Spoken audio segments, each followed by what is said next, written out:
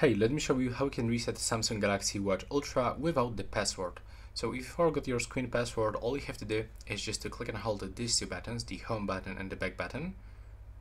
Click and hold them. Now you will have to wait until this watch turns off.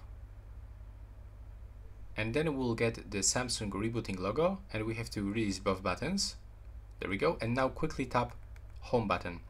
And here we are with this reboot mode. So now we have to click on the on this button the home button to scroll to the recovery.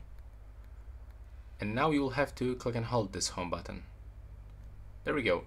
Now you just have to wait until the watch enter for the recovery mode.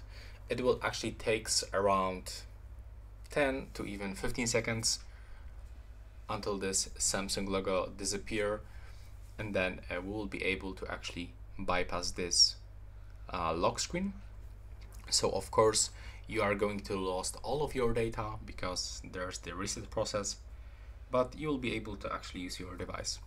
As you can see here we are and now as you can see you can simply scroll with your finger.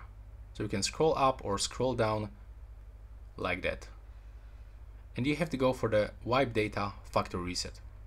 Now we will have to click once on the power button, I mean the home button actually. Now scroll to the factory data reset and click on the home button. And now the process will be finished and all we have to do right now, be sure that the reboot system now is selected.